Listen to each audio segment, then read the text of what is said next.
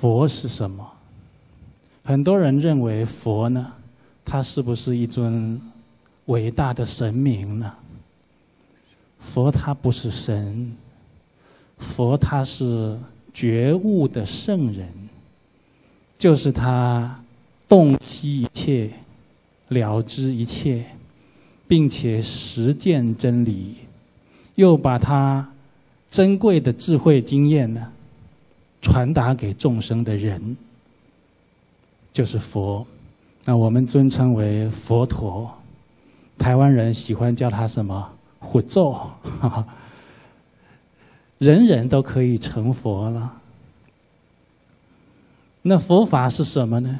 刚才讲过了，佛陀他宝贵的智慧经验，能够带领众生了悟一切，产生很大的周遍圆满的觉悟。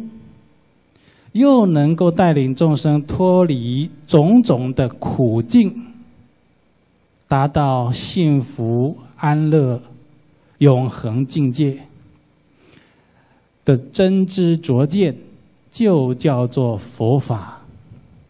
简单讲呢，佛法就是佛陀对一切众生的教育。那听起来就是佛陀好像很喜欢教育别人啊。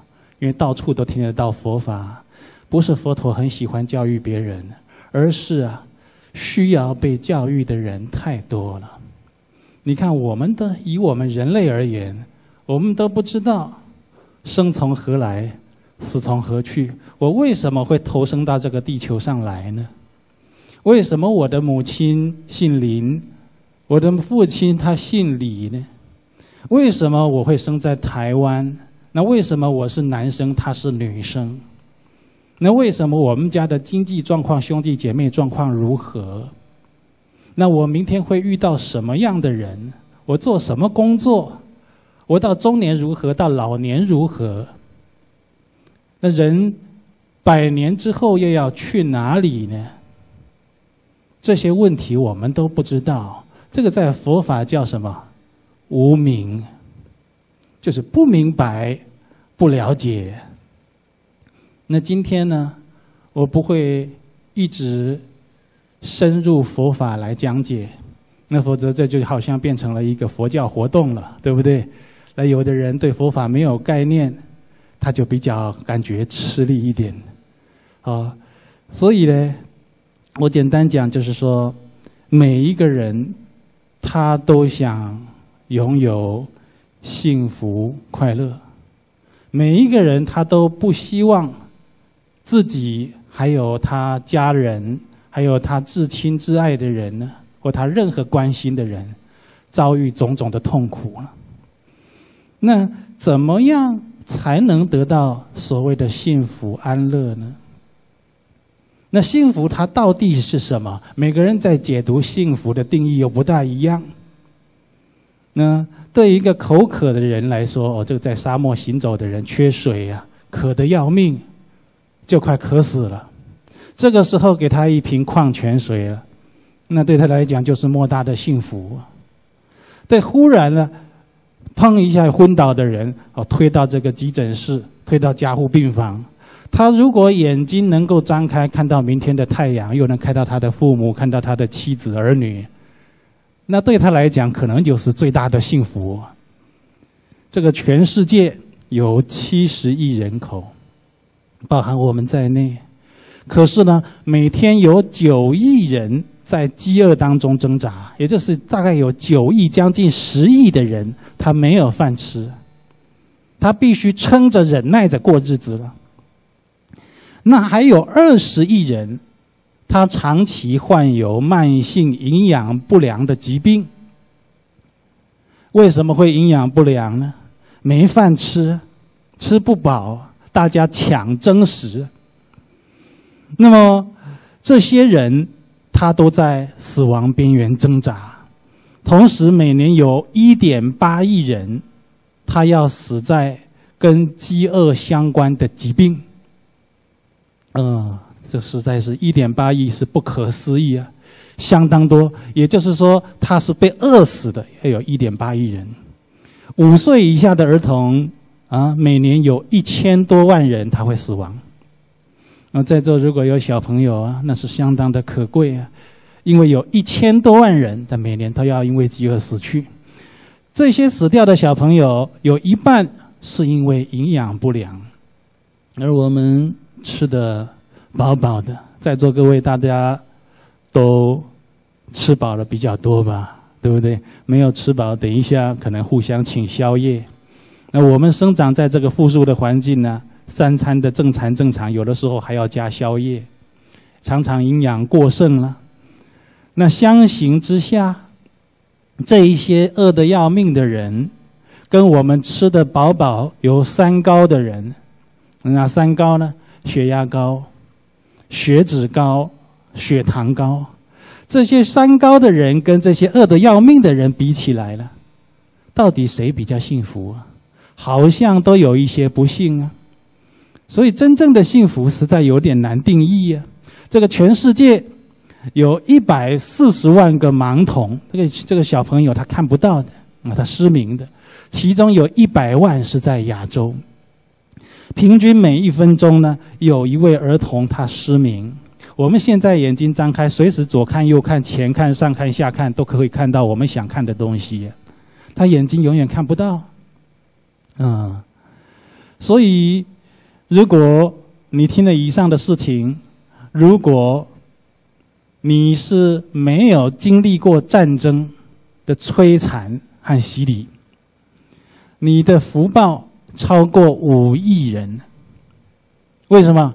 这世界上有五亿以上的人经过战争的摧残。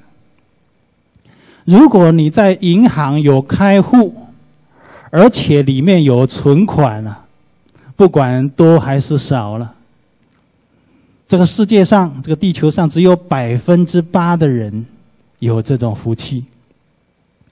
如果你能看书报，能够写字阅读，你的文化知识水平。又超过二十亿人，这二十多亿人呢，他是文盲，他没办法念书。如果你的父母都健在，你在这个世界上又有以上我讲那些好的特质，你就是少数的幸福的稀有人群。你有以上这些特质，父母都还健在，那真是难得。如果你常常呢面带微笑，而且你很有自信，那你就是高幸福指数的人了。这件事情啊很容易做，面带微笑，很有自信，常常啊主动跟人打招呼、点头。可是有一些人呢，他偏偏不做，他偏偏呢他就要愁眉苦脸。你问他什么原因呢？你发愁什么？他也不晓得。他就选择这种生活形态。如果你主动跟人打招呼，或者你会跟不是很熟识的人握手，或者你看这个人需要关心鼓舞，你会上去拍拍他的肩膀，说一些鼓励他的话，那就好像啊，在这个地球上看到菩萨一样啊，那么的难得。这些人都是非常难得稀有，所以呢，如果你有以上这些特质，那你真的是幸福指数相当高的人。也就是说，你已经很幸福了，跟这个地球大环境、跟这个地球上其他的人族群比起来，你是相当幸福的人。嗯，那反观这个世界上，还有很多的不幸啊。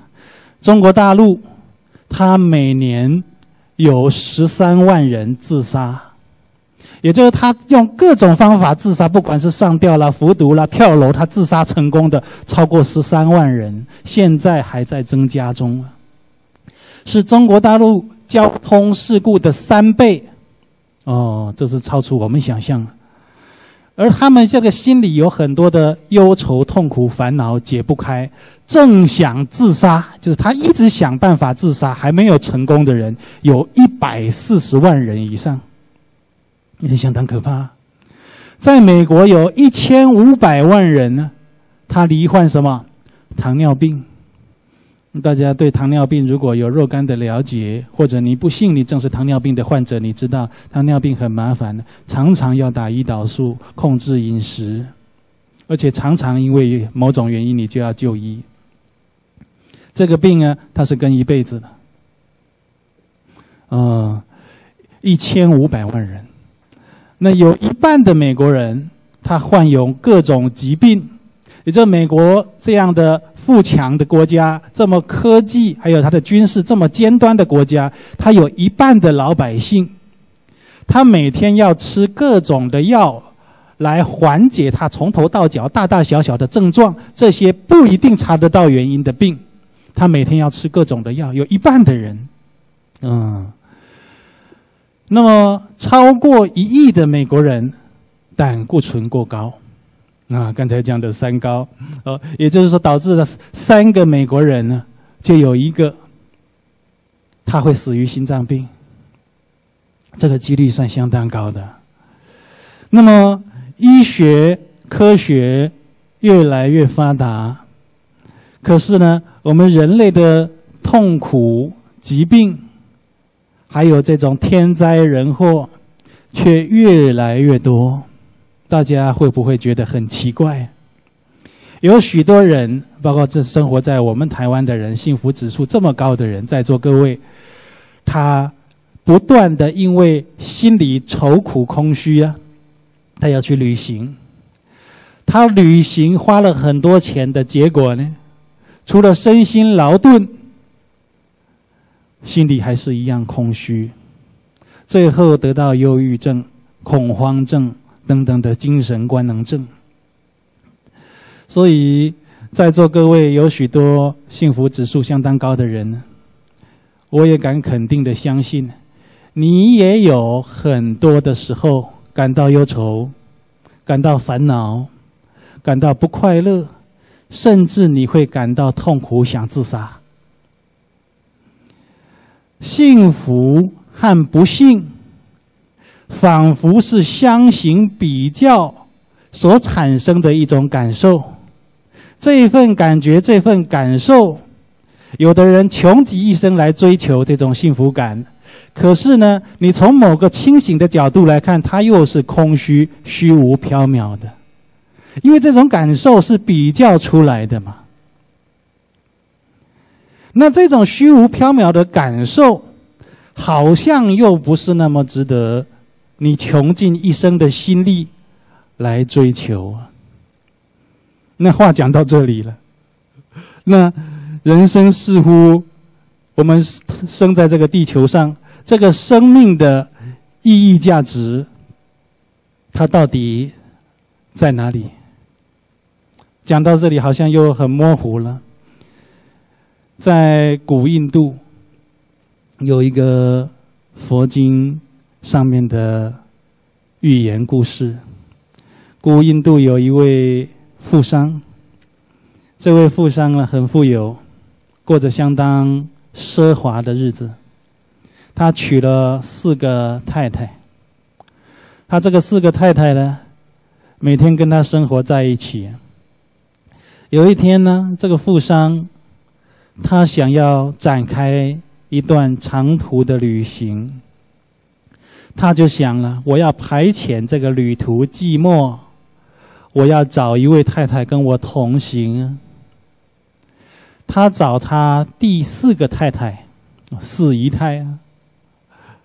第四个太太呢，他是最喜欢的，每天跟这个四姨太、四个太太呢腻在一起，给他吃好的、穿好的、用好的。打扮的漂漂亮亮，无微不至。他说：“我要出这趟远门，你愿不愿意陪我？”啊？这第四个太太告诉他：“呀，我不能陪你走那么远呢。”那这个富商没办法找第三个太太呢。这第三个太太呢，是这个富商从别人那里争取抢来的。为什么？这是 第三个太太，非常年轻漂亮，人见人爱。他巧取豪夺去争取来的。他问第三个太太：“你愿不愿意跟我去旅行？”第三个太太说了：“我根本不喜欢你，我不爱你，我只是你从别人那里抢来的，我没有理由跟你走。而且呢，你去旅行走了以后，我可能还要嫁别人。”那这个富商没办法了，他又问他第二个太太。那这个第二个太太呢，跟他说了：“我不能跟你走这么远呢，我有我自己的事要忙。可是我可以送你到郊外啊。”这富商没办法，找他的大太太。这个大太太呢？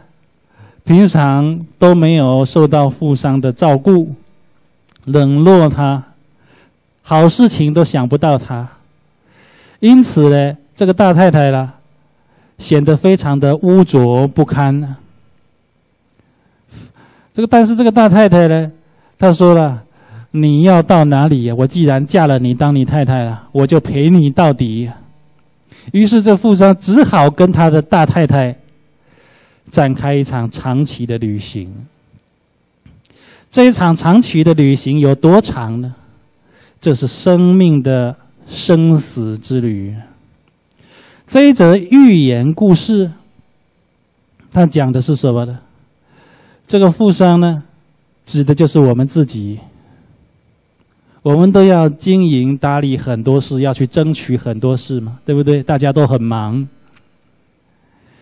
第四个太太代表什么呢？第四个代表我们自己的身体呀。我们这个身体呀，每天吃好的、用好的、穿好的，把它弄得无微不至。但是无常的大限来的时候，他根本就没有办法跟你一起走。这佛家语讲什么？万般带不去，唯有业随身。你这个身体呀，它就是人生几十年，很少的人超过百岁，它就是跟你这么一段缘，所以你执着身体没有用。那第二个太太呢，象征什么？我们的身外物、财富、金银财宝了。这个金银财宝是不是人见人爱啊？每天大家怎么样巧取豪夺？那第三个呢？第三个太太说：“我不能陪你走那么远，我只能陪你到郊外。”那这代表什么呢？代表我们的亲戚朋友。我们的亲戚朋友平常可以排解排遣我们的寂寞，但是呢，无常一到，亲戚朋友只能送我们到郊外。送上山头了，这真的问题来了，他起不了大作用，帮不了大忙。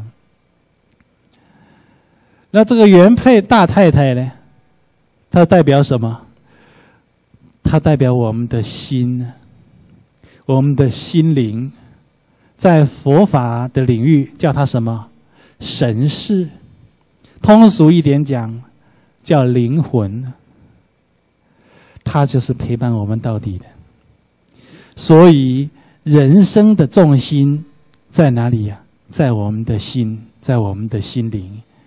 心能做天堂，心能做地狱。心呢，它所产生的价值观而衍生的行为模式呢，它决定一切。所以呢，如果你想得到幸福安乐、具意的人生，一定要在心灵做灌溉、滋养，一定要耕耘你的心土。否则的话，你用力用错地方了，到头来是一场空。这个心灵呢，要滋养它，要灌溉它，要丰富它。你不可或缺的有两个东西，就是灌溉我们自己的心灵。第一呢，就是善念；我们这个心呢，一定要常常生发善念。第二呢，就是利他，你一定要常常去利他，否则你的心会枯萎，会晦暗，心会不光明。啊，如果你能够用真诚的发心行善，去利他，常常发出好的念头，你能招感古人所说的五种上手的福报。哪五种呢？长寿、富贵、康宁、好德，最后善终。这五种你都会得到。这五种东西，没有人会抗拒它。每个人都想要。古人说，这五种东西如果找上你的门，叫什么？五福临门。